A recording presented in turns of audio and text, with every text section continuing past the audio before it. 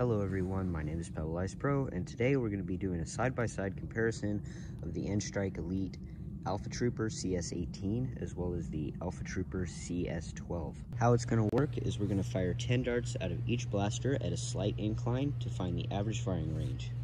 I'm using standard Nerf Elite darts as our dart of choice, as that's most likely what you're going to be firing out of them. Let's start with the original N-Strike Alpha Trooper.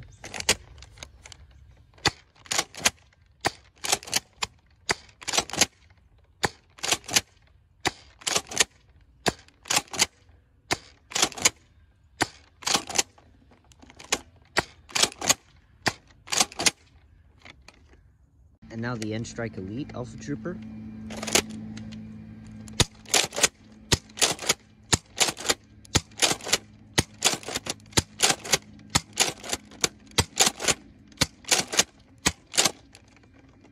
Here are the ranges for each of the 10 shots as well as the average. I think it's safe to say that the Elite Alpha Trooper is our winner. Thank you so much for watching. Go ahead and leave a like if you enjoyed, subscribe if you want to see more, and I'll see you guys soon. Take care. Bye for now.